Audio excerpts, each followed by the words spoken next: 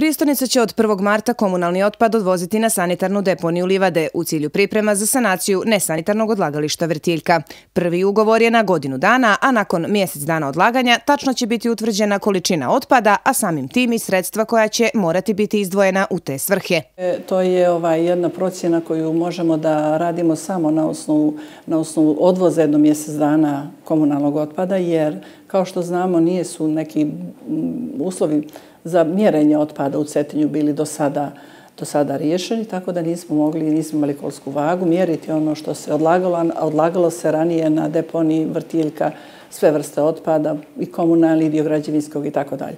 Mi imamo sada planovima definisane i donešene odluke gdje će ići građevinski otpad, kako će se, znači, u pripremi je jedan projekt i zadatak, odnosno projekat reciklažnog dvorišta, tako do nekom narodnom periodu, kako dani odmiču, mi ćemo svi biti u boljoj situaciji da, da nam bude isplativ i da nam bude održiv sistem. U prijestonici kažu i da je budžetom već predviđen dio sredstava koja će se opredeljivati komunalnom preduzeću u te svrhe, dok će dio morati sami da obezbijede. Predviđeno je i privremeno odlagalište za otpad koji se ne može odvoziti na deponiju Livade.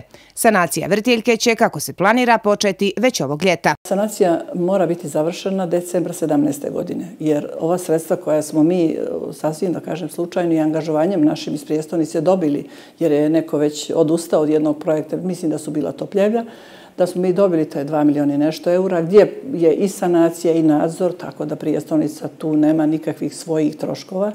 Država Crna Gora je, rekla sam, 15% participirala tu, tako da ovaj, sanacija mora početi brzo. Sva je tenderska dokumentacija pripremljena, sprovodi je direkcija javnih radova i čekala se samo da mi ono što smo oba, u obavezi Jaspersu, konsultantima Evropske unije, odnosno delegacije Evropske unije, u obavezi bili dostaviti, a to je izrada elaborata, on je završen, prihvaćen i dato je pozitivno mišljenje na elaborat o procjenu utjeca na životnu sredinu prostora vrtiljka. I drugo, da donesemo odluku što smo mi uradili 25. decembra prošle godine, odluku na Skupštini vi se sjećate prijestanice da se neće odlagati više otpad na vrtiljci.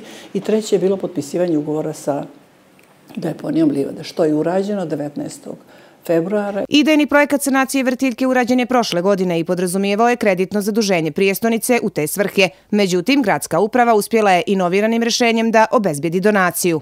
To inovinarno rešenje podrazumijeva podrazumijeva donatorska sredstva, odnosno sredstva iz operativnog programa Regionalni razvoj, koja su u iznosu od 2 miliona i 39 hiljada eura, tako mislim da je tačna cifra.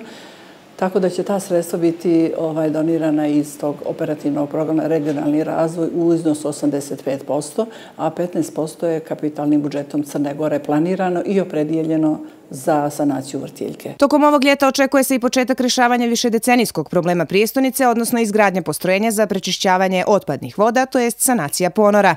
Sredstva u iznosu od 500.000 eura predviđena su kapitalnim budžetom vlade Crne Gore, a u cilju pripreme rekonstruisana je kompletna gradska kanalizacijona mreža. Sanacija ponora podrazumijeva da se ponor odčepi i da on služi svojoj svrsi namjeni kako i sad, kako je kao i do sada, do izgradnje postrojenja, odnosno tunela Belveder, do konačnog rješavanja postrojenja za prečišćavanje otpadnih voda. Jer samo u tom slučaju mi smo Ovaj, u samo tom slučaju ćemo imati adekvatno rješenje, znači ponor će vjerovatno, pretpostavljam, ostati za neke atmosferske vode ili tome slično. Sve faze projekta sanacije ponora uz podršku Evropske unije i vlade Crne Gore realizuje prijestonica Cetinje.